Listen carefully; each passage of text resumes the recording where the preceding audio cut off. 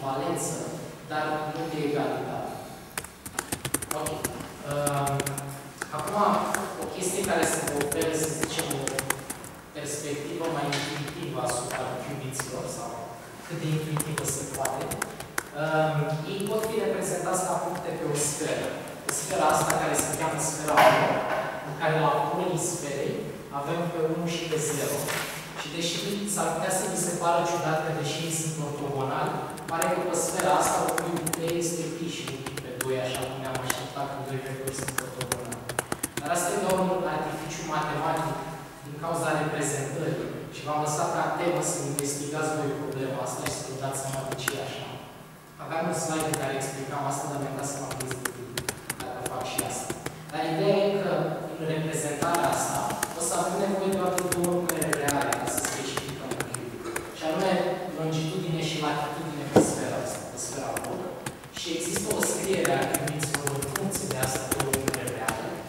Scrierea e asta, deci în funcție de delta și phi, de delta între 0 și pi și pi între 0 și 2. Singurul motiv pentru care vă arăt asta este pentru că o să vedem atunci când aplicăm operații cubiților, este ca și când îi rotim pe sfera asta. De exemplu, îi rotesc față de axa OX sau față de axa OY sau OZ sau o altă axă intermediară. Ok. Aveți întrebări până aici? Știu că e da. Da.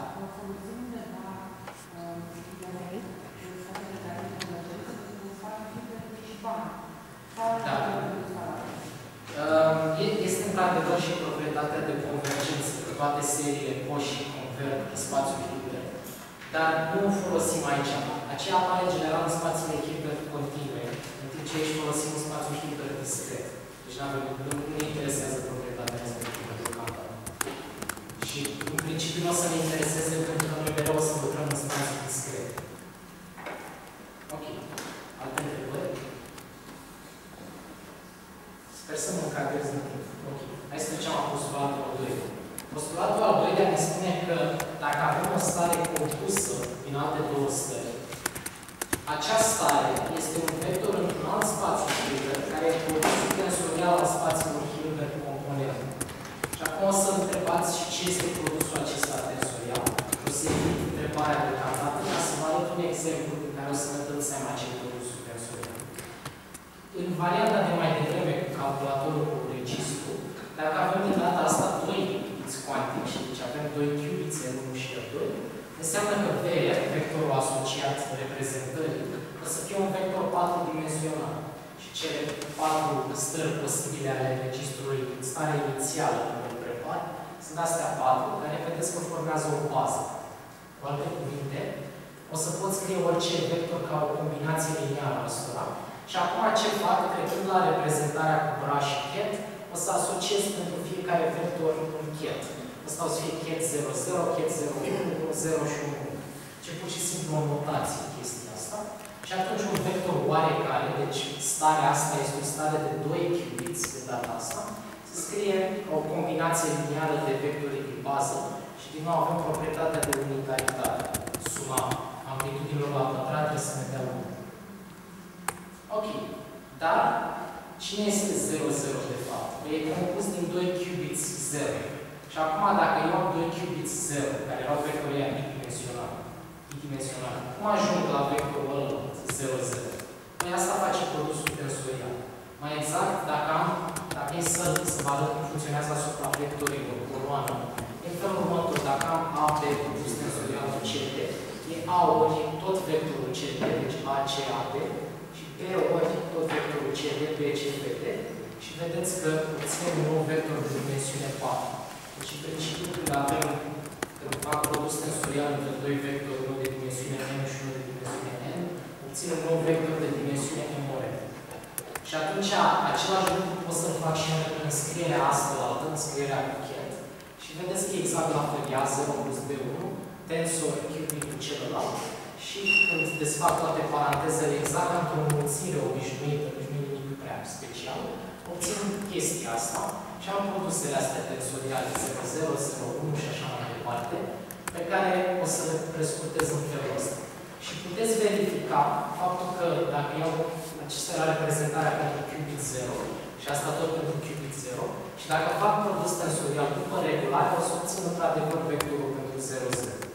Dar, în general, se preferă scrierea asta, pentru că dacă o să avem foarte mulți qubits, vă dați seama că nu putem să lucrăm cu vectori exponențiale mari. Și atunci o să lucrăm cu chestii de genul ăsta. Și principiul asta e, să zicem, zăhărel sintactic, e o structură de notație. Adică în loc să scriu 0 tensor 1, o să scriu 0, 1. Uneori o să scriu 0 lângă un cat, 0 lângă cat 1, fără să mai pun produsul tensorial între ele. Asta se face mai mult în ora a doua, un motiv care o să fie destul de clar. Acum, uh, legat de postulatul ăsta, o să vă zic un pic de un fenomen destul de ciudat despre care o să vorbim mai mult în timp. Să zicem că avem starea aceea, 0, 0 plus 1 pe radical din 2, și o stare de 2 qubits, un vector asociat registrului 2 qubits. Pot să-l scriu ca produs tensorial de 2 qubits? Ce credeți? Din moment ce v-am zis mai devreme că dacă am 2 qubits și pun împreună ca să descriu starea asociată sistemului cu 2 qubits, trebuie să fac produs tensorial. Și dacă am o stare cu 2 qubits, aș aștepta să pot să o descompun. Răspunsul e că nu se poate. E o sumă de, Poftim? e o sumă de produse tensoriale. de fapt. Da, într-adevăr, e o sumă de produse tensoriale, dar o să, o să arăt de ce putem să scriem uh, ca produs tensorial de două stări, să presupunem prin reducere la absurd că am avea două Nimic. stări psi1 și psi2 și prin produsul lor tensorial obțin starea asta. Păi psi1 pe formă generală e A1 0 plus B1 și celălalt e A2 0 plus B2 Dacă fac produs tensorial, obțin chestia asta, cu regula de mai mult. Și ce trebuie să fac ca asta să fie egală cu starea? Păi, trebuie ca, bine, trebuia să fie aici un pe radical de 2 și un pe radical de 2, greșeala mea. Dar, în principiu, componenta asta și componenta asta de sus sunt nemule, iar astea de două sunt nule. Și vedem că nu putem satisface constrângerile astea, deci nu se poate. Iar stările care manifestă proprietatea asta se cheamă stări entangled. Și cum ziceam, o să vorbim mai mult despre ele mine, dar ele ilustrează ideea că întregul este mai mult decât suma părților. Că sunt anumite stări formate din mai mulți qubits pe care nu le pot exprima ca produs tensorial, ca o compunere de mai mulți qubits. Ceea ce e foarte ciudat și din cauza asta o să avem toate proprietățile alea interesante care ne permit să câștigăm jocul acela Cohenson și Gravity. Iar toate celelalte stări pentru care pot să scriu ca produs tensorial se cheamă stări separabile. Ok, trecem la postulatul al treilea, asta e destul de simplu. Ne spune pur și simplu că evoluția stărilor cuantice este dată de operatorul unitar. Adică de matrice cum era acel MF de care am vorbit. Dar dacă vrem să dăm o, o definiție puțin mai riguroasă a operatorilor unitari, sunt operatori pentru care avem următoarea proprietate, ori cu cruciuliță, este egal cu cruciuliță O egal cu matrice identitate, iar cu cruciuliță este adjunctul lui U.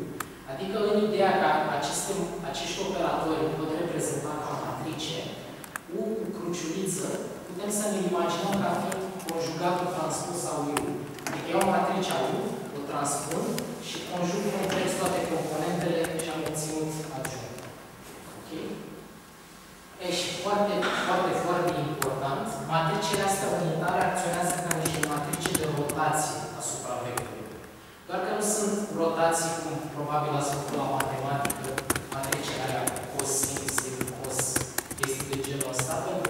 că sunt rotații într-un spațiu vectorial complex și atunci și ele au, au o formă mai ciudată, să zicem, care nu pare la prima vedere că ar fi o matrice de rotație, dar sunt totuși matrice de rotație. Și foarte important, ele acționează liniar asupra vectorului. Dar asta e mai mult o proprietate, să zicem, a spațiului vectorial. E și probabil că ați auzit de ecuația Schrödinger și probabil că vă întrebați unde intră ecuația Schrödinger în toată treaba asta. Ecuația Schrödinger este echivalentă cu postulatul ăsta. Adică să spun că evoluția sistemului fizic e dată de matrice unitare, este echivalentă cu a spune că evoluția e dată de ecuația asta, dar nu o să o folosim pentru că e prea... Adică e inutilă pentru ceea ce vrem noi să facem. Noi o să lucrăm doar cu matrice unitare. E și să luăm niște exemple ca să vedem concret ce se întâmplă. Astea le aveți și pe foile pe care le-am dat, pentru că o să tot apară exemplele astea ce o să faci. Dacă avem matricea asta unitară, matricea H gamma, îi spune pe aceea să numează H, și acționăm asupra stării 0, observăm că ne mapează în starea 1 radical de 2, 0 plus 1, pe care o notăm cu starea plus. Deci starea respectivă o notez ca fiind cat plus, pentru că o să tot folosi. Și dacă acționez asupra lui 1, obțin un radical de 2, 0 minus 1 care se notează cu minus. Și acum țineți cont că din ideea că matricele astea sunt matrice de rotație, dacă acționez asupra unor vectori dintr-o bază care sunt vectori ortogonal și îi rotez, obțin o altă bază, pentru că matricea unitară păstrează proprietatea de unitaritate, adică vectorii rămân de normă 1 și păstrează și unghiurile dintre vectori, deci vectorii rămân ortogonali. Deci dacă acționez asupra unei baze ortonormale, obțin altă bază ortonormală. Deci dacă 0 și 1 era o bază pentru qubits, înseamnă că și plus minus sunt o bază pentru qubits, în care pot exprima qubits.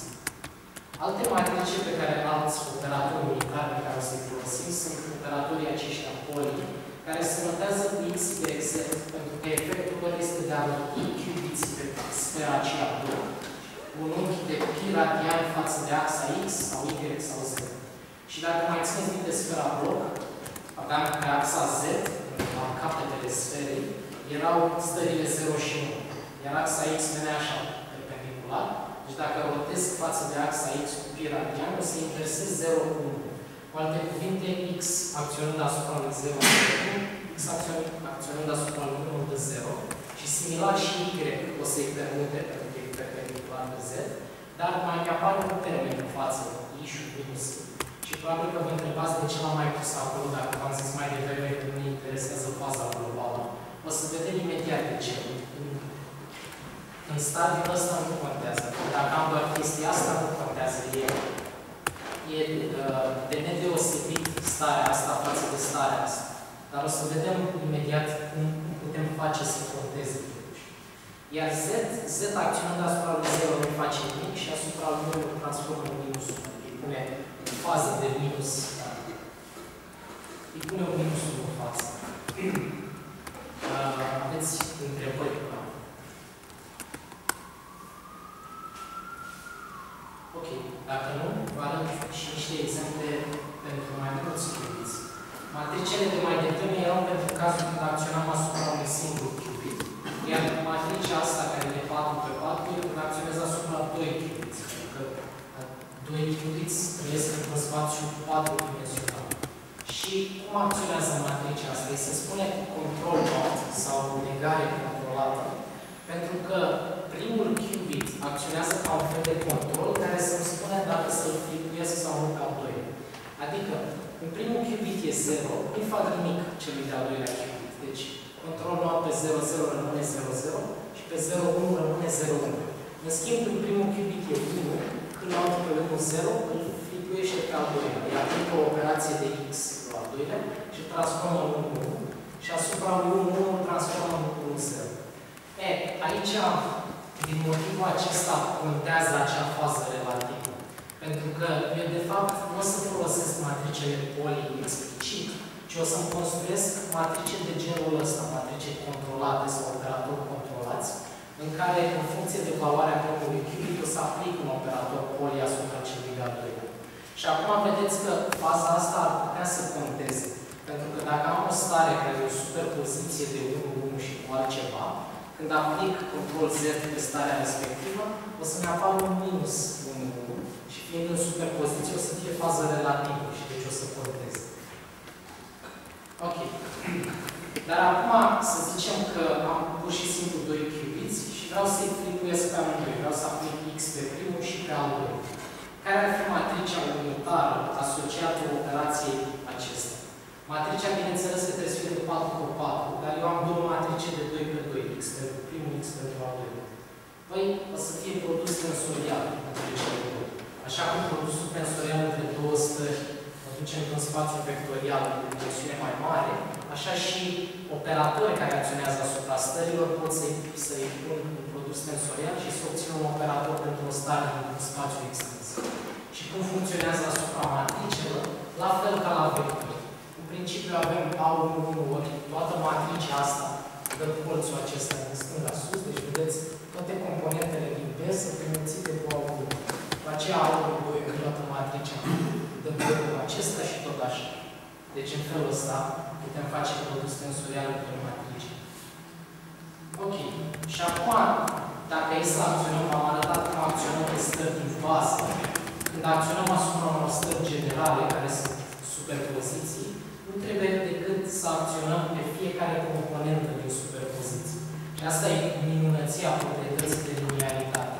Că nu trebuie pentru un operator decât să știi cum acționează pe vectorii din bază și apoi pentru orice alt vector nu trebuie decât să-l exprim în baza respectivă și să acționez individual cu fiecare din componentele respective. Și mă rog, aici pot să mai grupez termenii și să obțin vectorul ăsta. La fel și cu x. x acționând asupra unui stări general xi, care ia 0 plus b1, este a ori xi acționând, x acționând pe prima componentă, plus b ori x acționând pe a doua, adică 1 devine 0, 0 devine 1. Pentru o stare cu 2 qubits, chi, care e în forma generală superpoziția asta, dacă acționez cu uh, negarea controlată, din nou, prin linearitate, este cât pe fiecare componentă din superpoziție, adică primele două rămân la fel, iar aici 1, 0 a devenit 1, 1 și 1, 1 a devenit 1, 0. Ok. Acum, în mod tradițional, toți operatorii și tot ce am discutat până acum se reprezintă sub formă de circuit. Și o să vedem că algoritmii pe care discutăm în partea a doua, o să-i reprezentăm sub formă de circuite și porți logice exact ca un calculator obișnuit. Cu alte cuvinte, așa cum la un calculator obișnuit pot să am un bit la intrare, după aia o poartă logică și un bit la ieșire, la fel și aici toți operatorii pot fi, pot fi